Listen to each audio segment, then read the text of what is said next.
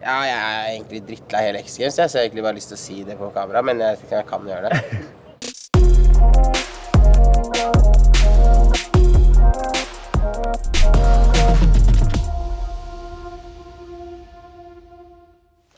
Det er X Games om fire-fem dager. Nå begynner jeg å kjenne det Altså, det rister, for jeg føler det Jeg har aldri gjort Altså. Men det er sånn, nå begynner jeg å tenke Nå begynner det å falle inn ok, hva jeg skal gjøre. For nå begynner det å komme mails fra bookingselskapet mitt og fra plateselskapet om øvinger og sånn tracks. Er du klar? Gjør du sånn? Og lys måten ting skal være på, da, da begynner jeg å skjønne ok, shit, det her skjer liksom nå. Så jeg måtte ringe mamma i stad. Bare, bare sånn OK, nå vet jeg ikke hva jeg gjør, ass. Jeg får bare gå og gjøre det jeg kan, gjøre mitt beste, og så får man ta det derfra. ass. Vi får se hvordan det går, baby. Only stacking blue faces. Took it back to the basics on the paper chase like in Vegas. When we come around, they don't say shit. Cause we up all night, sipping on dawn, sipping on light. Ja, vi bare rydder studio nå og får ting klart, fordi eh, eh, vi er jo med å arrangere X Games utpå her, og i forbindelse med det så skal vi ha en liten backstage for noen eh, venner som kommer fra LA, og noen av artistene og litt sånn. Så da, da må det være shina her på studio, da. Så det er basically bare det. Men det er ikke bare bare å rydde i studio. Det er ikke lite stæsj her inne, ikke sant? We climbing, we climbing with grip. We climbing, we climbing with grip. Perfekt. Jeg skal bare streke opp en logo ut på gulvet her, for det jeg pleier å gjøre fra tid til annen. Men nå hadde jeg lyst på en helt sånn perfekt dataskrift, så vi skal lyse opp med prosjektor. Men så var det ikke høyt nok opp til lille broen, så Andreas Hoff må klatre helt opp i taket her. Det er livsfarlig. Mama see the got a body. She be calling me Poppy. Taking pics, paparazzi. All you do is fucking copy. I'ma stay being cocky. Chop it up like karate. I don't need no Miyagi. I do it myself. Only stacking blue faces. Took it back to the basics on the paper chase like in Vegas. When we come around, they don't say shit. Cause we up all night. Sipping on dawn, sipping on light. Mandag, fuck it, jeg sipper vann. Korona. Vi bare prøver å forberede alt til X Games, alt rundt og Sånn at alt sitter på plass og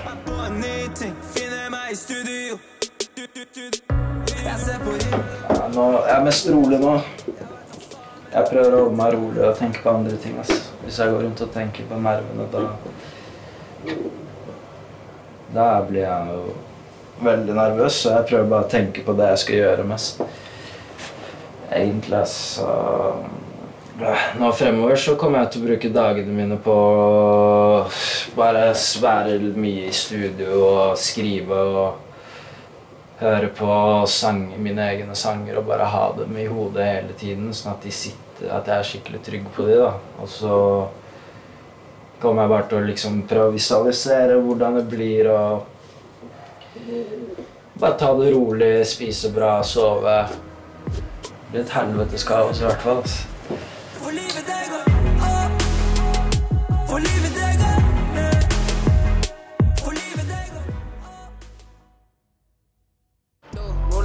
she fucking with flow, and I'm about to go. You already know with the bros, and we fucking the hoes. Only pull up in designer clothes. Men Nico skal legge ut uh, første episode på Instagramen sin. For uh, første, Han har ikke lagt første episode av serien. Og så skal han liksom gjøre en intro for den serien, da.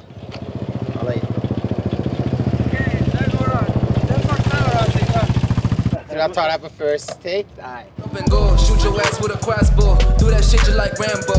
Ain't a grip on the handle. I'm looking good, but where your friends though? I look down where my pants go. I'm a pretty boy with a nasty flow. Jeg tror du kan ta den enda kjappere en gang til. En gang til, jeg tror jeg enda klarer bedre. Gucci bag and a jacket, got that Louis tag. See me cruising down the main drag, so fast, got a damn jet lag. Swimming like six tag. Okay, get ready for a dramatic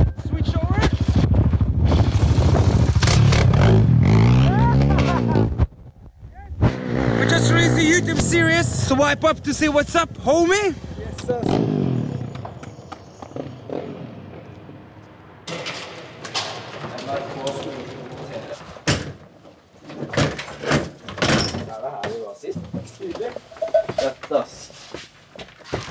Yes, i morgen er the big day. X Games. Det starter offisielt med alle hovedkonsertene og med alle artistene som har kommet. Det er sånn Blink 182-opplegg, skjønner du. Bandøvning. Hva skjer, liksom? Noen skriver 'Chris, hva jeg skal du?' Bare 'Jeg skal på bandøving'.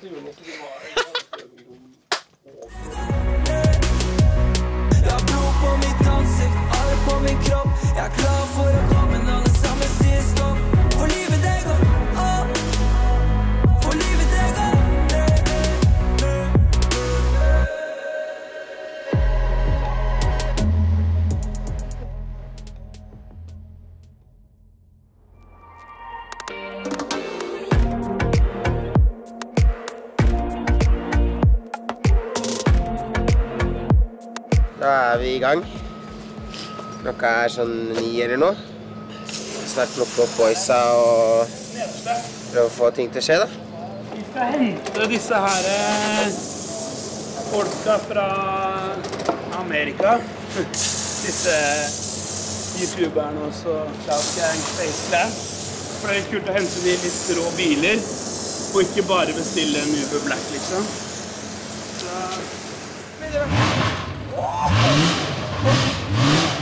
Nå skal vi stikke ned og hente gutta på hotellet. Og jeg føler jeg blir så Jeg føler jeg blir så gone in 60 seconds.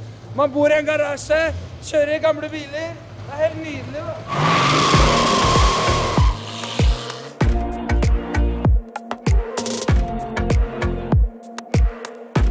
Bare venter vi på at de der eh, gamerne skal komme seg ut. altså. De er oppe og gamer hele natta. vet. De klarer ikke å stå opp om morgenen.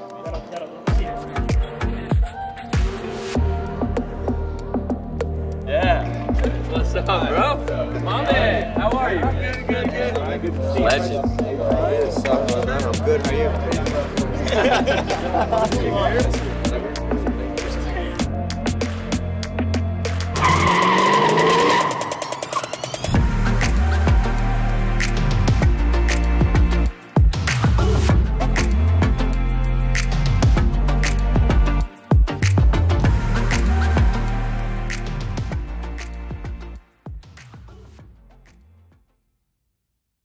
Digital, digital, mental. Ingen glitcher, alt går på skinner. Yeah.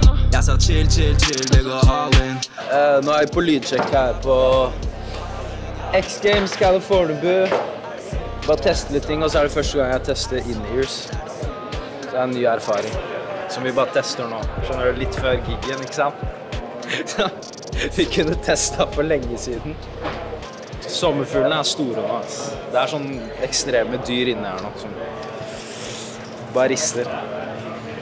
Det er en litt annen type sånn nervøsitet enn det det var for, eh, første gangen.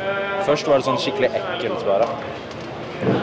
Nå er det litt mer sånn eh, nervøs, men det er ikke ekkelt.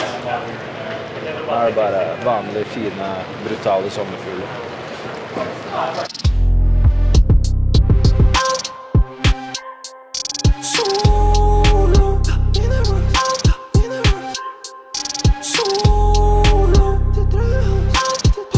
Lydprøven gikk bra. Det føl første gang det føltes skikkelig liksom, Ok, nå, nå er jeg klar, liksom. Det gikk bra, lyden hørtes bra ut. Gutta syntes det hørtes bra ut.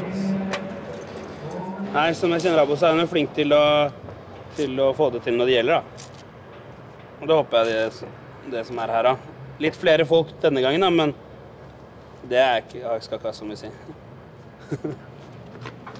Jeg er kjempestolt av ABBA. ass. Det kommer til å bli helt sykt. Det er den største greia ABBA har gjort eh, til nå, liksom. Det kommer til å bli dritkult. Eh, hjelper masse at alle gutta er her. Og det er liksom eh, Det er hjemme på California, da. Det er dritkult. Så det er stort, det, altså. This don't make no sense. How you get them bands? Bitch, do my dance. She don't understand. begynner å falle inn over hvor sykt det er her. Jeg bare ser de gamerne sitter her og koser seg, skjønner du? Yeah, what's up? Go there, go there, go there. Du det? up? Yeah, har, du, har du sett måten de spiller på? Du har en av gutta som har skeivt tastatur, som sitter sånn. Og så har du ja, men det er ikke kødd. Og så har du en som sitter med kontroll, for han gidder ikke å spille. Han spiller bare kontroll, det går bra. Og så har du de andre gutta som sitter De har noen sånne syke positurer. Så jeg tenker jeg må bare være kreativ etterpå, liksom. Jeg må bare Du er inspirert? Jeg må ha attituden på det. Det er det jeg må. Skal du spille? Ja, mot de. Tror jeg. Ja. Det blir ikke bra, vet du. Nå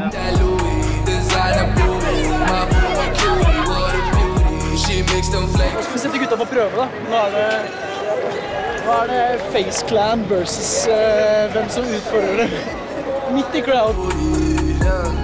Yeah. Yeah, she smell Versace cologne. Man, she never wanna be alone. Cause my home is like her new home. And every night she calling my phone. Det ser dritkjedelig ut. Det ser ikke litt gøy ut. She know it's only one flow, no clone. Face it blunt, now she gone so stone. Late night, we in the zone alone. Rock the bed like a rolling She rock that. And Norway's awesome. I know also. X Games. Thank you, baby. Let's stress meg, fuck it, ikke press meg. Jeg kommer hjem sent i kveld. Fuck it, ikke stress meg, fuck it, ikke press meg. Fordi vi tar det, fordi vi tar det, fordi vi tar det. Vi tar det tranquilo. Fuck it, ikke stress meg, fuck it, ikke press meg. Jeg kommer hjem sent i kveld. Ikke stress meg, fuck det, ikke press meg. Fordi vi tar det, fordi vi tar det, fordi vi tar det. Tranquilo.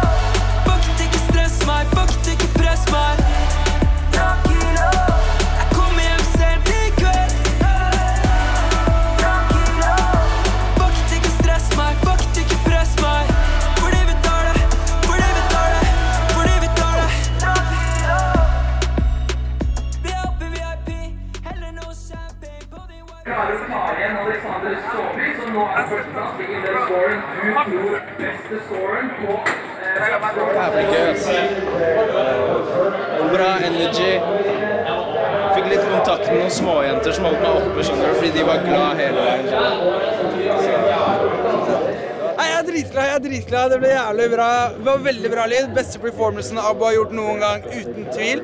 Folk digga det. Det ja, eneste jeg har å utsette på performancen, var at han tok ikke av seg til baris. Og det, det er litt skuffa over. Men det ble fett, da. Hva skal han med alle de kule tatsene hvis han skal gjemme det under jakka? Ja, det var mye småjenter som har satt pris på det, tror jeg. ja, det hadde vært penger i banken. Det var saus. Det var Det var vel fortsatt solnedgang, da. Det er, så, det er det nærmeste du kommer sånn Ibiza-vibes i været. Og så er det sånn folk sparker opp litt sand på bakken, så du har naturlig røyk rundt alle sammen. Så har du bare Abo som står på scenen og bare killer med de sånn fem aller feteste låtene sine. Og nei, det var sykt fett. Folk sang med og sånn. Det er det som er så gøy. Og så smeller han inn. Det er sexy å være her. Det syns jeg det er liksom det vi fucking sant. på. Abo, det var helt sykt. Eh, magisk stemning da, med liksom solnedgangen, Californebu. Det var, du så det var røyk opp eh, når folk sto eh, på bakken, eh, når folk dansa. Folk wava fram og tilbake. Ja, det var helt nydelig. ass. Det var beste performancen han har gjort eh, noensinne. Vi tar det tranquilo.